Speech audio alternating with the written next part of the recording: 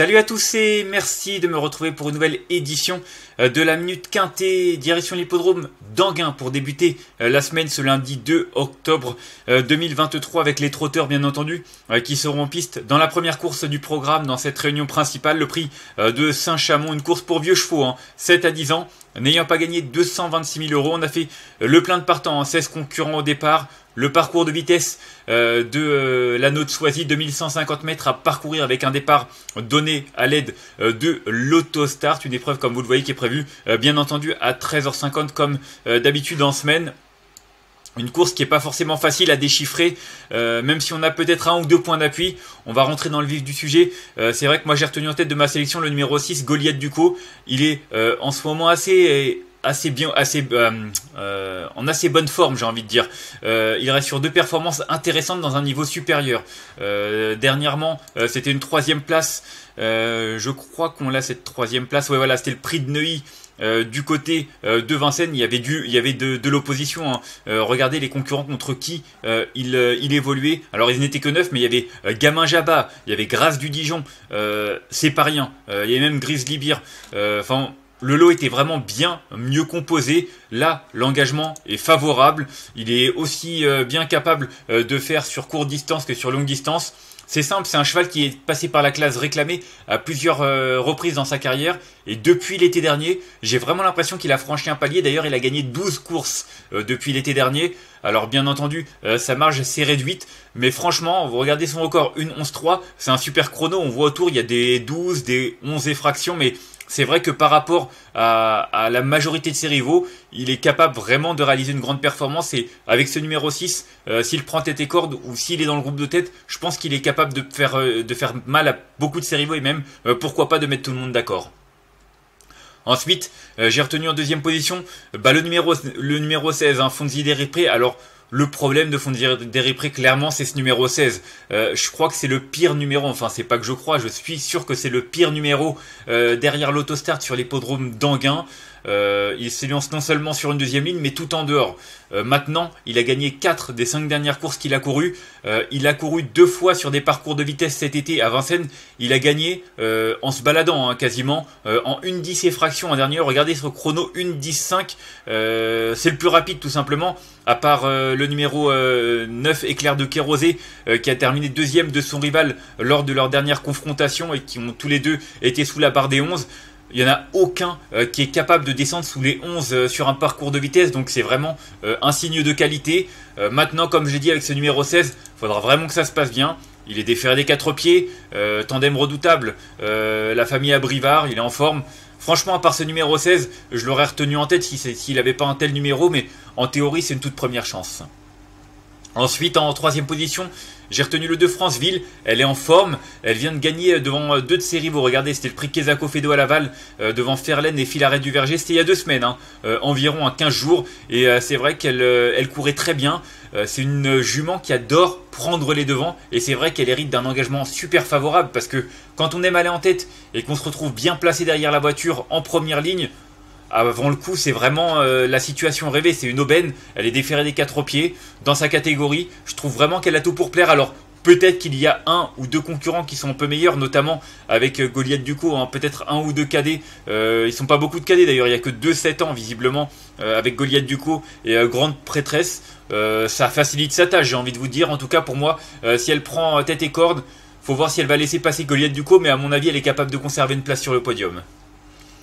Ensuite, en quatrième position, j'ai retenu le 9 éclair de Kérosé. Il a déjà bien fait sur ce parcours. Il vient de nous assurer de sa forme en terminant deuxième euh, de Fonzi Deripré. Euh, c'est vrai que lui aussi a pas mal d'atouts dans son jeu si ce n'est ce numéro. Alors si le numéro 16, Fonzi Deripré, a le désavantage de s'élancer tout en dehors, lui il a le désavantage de s'élancer côté corde euh, en deuxième ligne. Du coup, va pas falloir qu'il subisse, va falloir qu'il trouve les bons dos et les bons espaces pour pouvoir se décaler de la corde. Si c'est le cas, clairement, il est capable de terminer dans les 3-4 premiers. Euh, s'il est un peu moins chanceux, ça peut être euh, un peu embêtant et il peut se retrouver enfermé dans la phase finale. J'espère en tout cas qu'il arrivera à trouver l'ouverture. Mathieu Abrivard le connaît parfaitement et euh, je trouve qu'en théorie, il a une belle carte à jouer. Ensuite, en cinquième position, j'ai retenu le 4 Dewey de Cagne. Alors, Dewey de Cagne, vous le voyez, c'est un coup je te vois, un coup je te vois pas. C'est même souvent un coup je te vois pas hein, quand on voit sa musique, à part sa deuxième place l'avant-dernière fois dans un quintet disputé à la Capelle.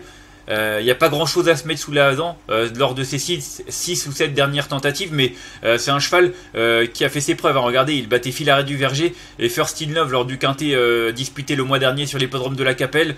dernièrement, ça s'est un peu moins bien passé, mais il faut vraiment pas le condamner là-dessus. Il est allégé dans, sa ferrure, un plaqué des antérieurs, déféré des, déféré des postérieurs. C'est un cheval qui est à peu près dans sa catégorie. Il est dur à l'effort. Il a de la vitesse, hein, vous le voyez. Son chrono 1.11.6. Autour de lui, il n'y a que des 1.12. Donc, c'est pas un problème le parcours de vitesse. Il a un bon numéro derrière l'autostart.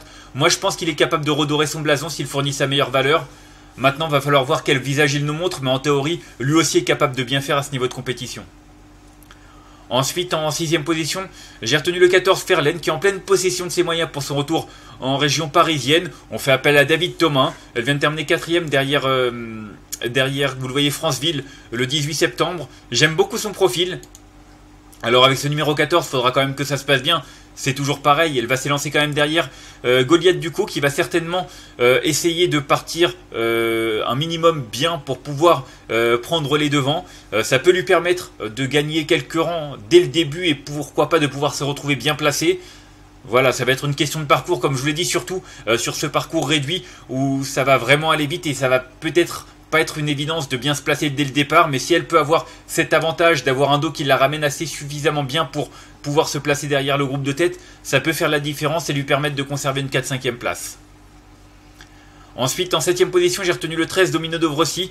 Euh, il n'a pas démérité en dernier lieu. Hein. Je ne sais pas si c'était une course de référence, Domino de Rossi. Ah si, voilà, c'était euh, face à Fonzi Pré et Claire de Kérosé. Il a quand même fait pas mal d'extérieur, euh, mais il n'a pas démérité. Je trouve que le lot est un peu moins relevé, même s'il se retrouve en deuxième ligne que la dernière fois. C'est vrai qu'il y a Fonzi Pré ou encore Éclair de Kérosé qui recourt dans cette épreuve.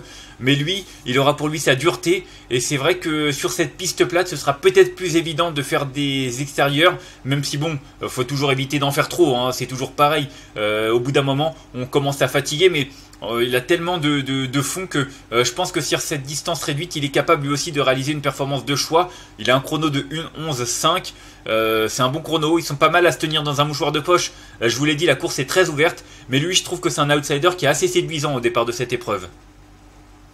Et enfin en huitième position, j'ai retenu le 5 Falco du Douai, qui a été assez décevant, hein, mine de rien, euh, du côté de Feur, en dernier lieu dans un quintet.